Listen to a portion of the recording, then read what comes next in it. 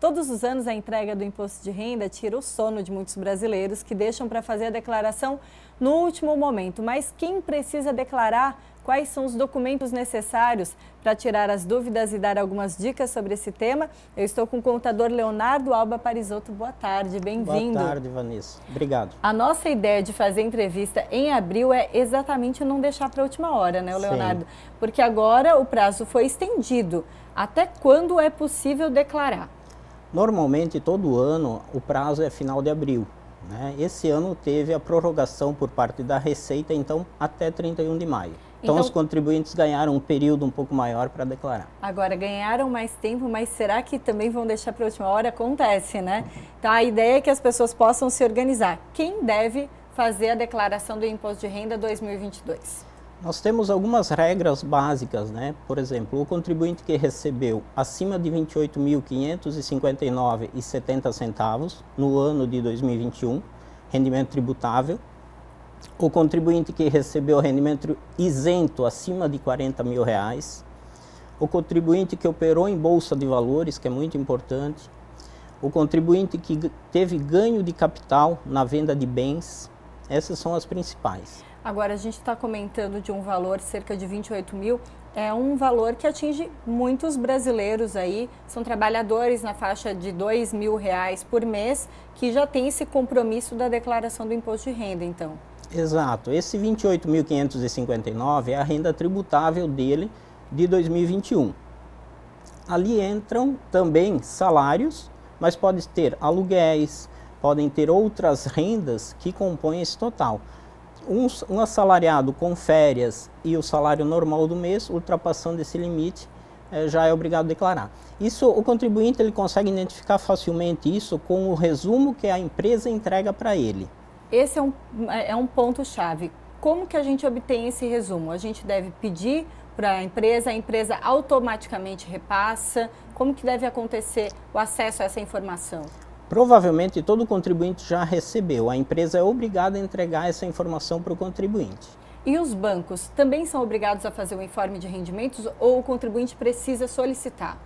Normalmente o banco hoje ele disponibiliza no site, né? Então praticamente todo contribuinte já busca lá no site e entrega para o contabilista que fizer a declaração dele. Está cada vez mais fácil fazer a declaração, né? Continua ainda sendo toda online, reunindo as informações, anexando no sistema próprio da Receita? Sim, sim. É, continua da mesma forma. Você pode instalar o programa no teu computador, preencher a declaração, depois enviar, ou o preenchimento online direto no site da Receita.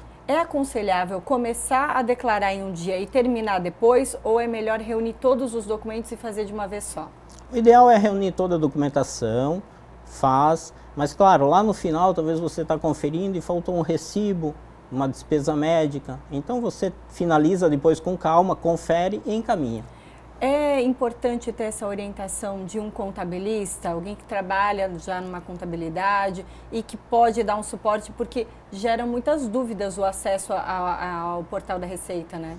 Isso, e também, Vanessa, a declaração ela não é igual para todo contribuinte. Então a gente costuma observar, ah, mas eu faço a declaração, mas cada contribuinte tem as suas peculiaridades. Sim. Uma despesa diferente, um dependente, uma venda de um imóvel. Então, assim, a gente orienta sim que procurem um profissional da contabilidade. Esses ajustes são importantes, e precisam ser feitos. A gente tem pergunta do público, Leonardo. O Osmar da Itopava Norte diz assim, ó, qual é o último dia de entrega do imposto de renda? Vamos reforçar então? Esse ano, 31 de maio. 31 de maio de 2022, a gente está falando dessa declaração. Tem mais pergunta? Tem a da Maria. Qual a diferença entre declaração simples e completa? Maria, então, a declaração completa é onde você lança todos os seus rendimentos e você lança as despesas médicas, com dependentes, e você verifica o resultado que dá. A de declaração simples, você lança o teu rendimento, o próprio sistema deduz 20% e aí você verifica o resultado. Então, antes de enviar, você pode fazer das duas formas ah. escolher a melhor para o contribuinte. Na verdade, o próprio sistema ele já, dá, já calcula e deixa pronto, só para você marcar no final. Qual é a melhor opção? Isso. E tem mais pergunta, Leonardo. José, sou isento de pagar imposto de renda retido da fonte. Tem que declarar esse ano? Seu isento de pagar. É.